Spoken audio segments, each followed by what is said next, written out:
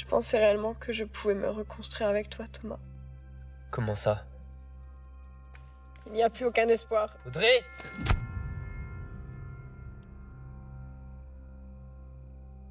Je pensais réellement que je pouvais me reconstruire avec toi, Thomas. Attends, quoi? Il n'y a plus aucun espoir. Non, non, non, non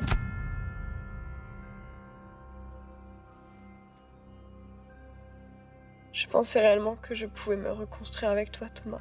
Putain, pourquoi ça se répète Il n'y a plus aucun espoir. Non, non, non, non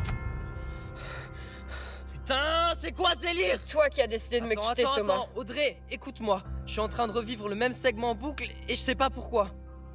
Peut-être parce que si ça continue, tu le regretteras. Merde Calme-toi, Thomas, s'il te plaît. Commence déjà toi par te calmer. Je sais ce que t'as en tête et ce que tu t'apprêtes à faire maintenant. Alors pourquoi tu m'as ignoré tout ce temps?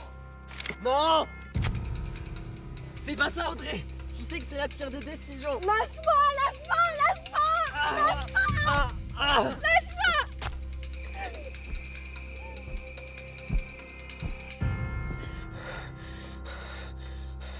Je pensais réellement que je pouvais me reconstruire avec toi, Thomas.